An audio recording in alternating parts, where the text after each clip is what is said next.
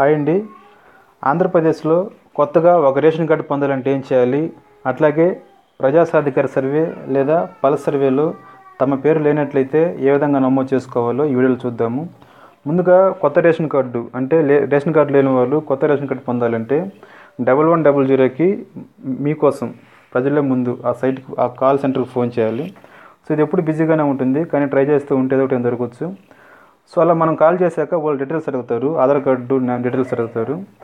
Aadhaar card మన number ఇచ్చాక వాళ్ళు చెక్ చేస్తారు వాళ్ళ సైట్లో ఈ ఆధార్ కార్డు ఆల్రెడీ ప్రజాసాధికార సర్వేలో ఎన్రోల్ అయిందా లేదా? ఎన్రోల్ అయితే ఈ పేరు ఆల్రెడీ ఏదైనా రేషన్ కార్డుకి లింక్ అయి ఉందా లేదా?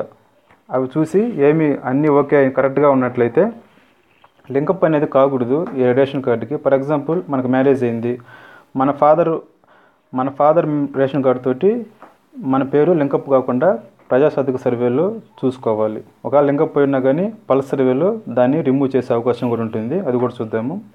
సో డబుల్ వన్ డబుల్ జీరోకి ఫోన్ చేశాక వాళ్ళు అడిగాక చెక్ చేసుకుంటారు. అన్నీ ఓకే అనుకుంటే వాళ్ళు ఆ డీటెయిల్స్ని ఎన్ఐసికి పంపిస్తారు. ఎన్ఐసి వాళ్ళు డిస్టిక్ సివిల్ సప్లైకి మన డీటెయిల్స్ పంపిస్తారు. అలా అంతా ఓకే అయినాక మళ్ళీ ఈ call centre double one double zero వాళ్ళే అంతా ఓకే అయినాక మన రేషన్ కార్డ్ నెంబర్ని మన మొబైల్కి మెసేజ్ ద్వారా పంపిస్తారు. సో అలా పంపించాక మనం డబ్ల్యూపీడిఎస్ సైట్ పీడిఎస్ సైట్ ఒకటి ఉంటుంది. ఆ సైట్లోకి వెళ్ళి మన రేషన్ కార్డుని మనం మొబైల్లోనే డౌన్లోడ్ చేసుకొని ప్రింట్ తీసుకొని లామినేషన్ కూడా చేయించుకునే అవకాశం ఉంటుంది. అంటే మొత్తం మీద ఎంఆర్ఓ ఆఫీసు ఆ ఎంఆర్ఓ ఆఫీస్కి వెళ్ళకుండానే మన ఫోన్లోనే ఈ రేషన్ కార్డు పొందే ఫెసిలిటీ ఆంధ్రప్రదేశ్ ప్రభుత్వం కల్పించింది. సో ఇదండి రేషన్ కార్డు సంబంధించి. అట్లాగే ప్రజాసాధికార సర్వే చూసుకుంటే ఈ ప్రజాసాధికార సర్వేలో ఏ పథకం పొందాలన్నా కానీ ఖచ్చితంగా దీంట్లో ఎన్రోల్ అయి ఉంటేనే వాళ్ళు ఎలిజిబిలిటీ. లేకపోతే ఖచ్చితంగా ఎన్రోల్ చేసుకునేదాకా వాళ్ళు దానికి అనర్ఫుల్ సో ప్రజాసాధికార సర్వేలో ఇప్పుడు చేర్చుకో కొత్తగా చేరాలని కూడా రెండు రకాలు ఉన్నారు. మొదటి రకం ఏంటంటే ఫ్యామిలీ మొత్తం ఎంటర్ అయి ఉండరు. ఫర్ ఎగ్జాంపుల్ ఒక ఫ్యామిలీలో ముగ్గురు మెంబర్స్ ఉంటే ఆ ముగ్గురు మెంబర్ అంటే ఒక ఫ్యామిలీ అనేది ఆ ఆ సర్వేలో లేకుండా ఉంటారు. అంటే ఆ టైం వాళ్ళు ఎక్కడికైనా బయటికి వెళ్ళడం వల్ల మిస్ అయి ఉంటారు. ఇంకా సెకండ్ టైప్ ఏంటంటే ఒక ముగ్గురున్న ఫ్యామిలీలో ఇద్దరు ఆల్రెడీ ఎంటర్ అయి ఉంటారు. అంటే వాళ్ళ ఫింగర్ ప్రింట్ కూడా పెట్టి ఉంటారు. మూడో వ్యక్తి డీటెయిల్స్ ఉంటాయి కానీ ఆ సర్వేలో అతను ఫింగర్ ప్రింట్ పెట్టుండడు ఆ టయాన్ని అతను అవైలబిలిటీ లేకపోవడం వల్ల ఫింగర్ ప్రింట్ అనేది వేస్తున్నాడు సో ఈ రెండు రకాలు ఉంటాయి.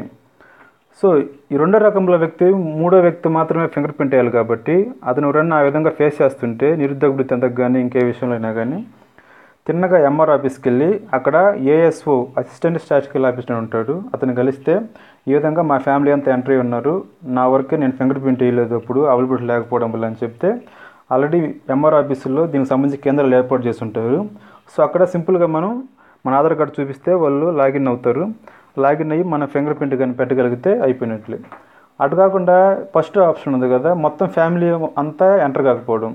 వీళ్ళు ఏం చేయాలంటే మన గ్రామ పంచాయతీల్లోనే పంచాయత్ సెక్రటరీ వారు కానీ లేదా విఆర్ఓ విఆర్ఓ గారికి కానీ దీన్ని అప్పచెప్పున్నారు సో వాళ్ళని కలిస్తే వాళ్ళ దగ్గర ఉన్న ట్యాబుల ద్వారా మొత్తం ఫ్యామిలీని ఎంటర్ చేసే అవకాశం కూడా ఉంటుంది. సో ఇదండి ప్రజాసాధక సర్వే అట్లాగే కొత్త రేషన్ కార్డు పొందడం వాళ్ళకు. ఇంకా నేను చెప్పడం వల్ల మీకు ఏమైనా అర్థం కాకపోయినా కానీ కింద కామెంట్స్లో పొందుపరిస్తే తప్పక రిప్లై ఇస్తాను. మరిన్ని అప్డేట్స్ కోసం తప్పక ఛానల్ సబ్స్క్రైబ్ చేసుకోండి. Thank you.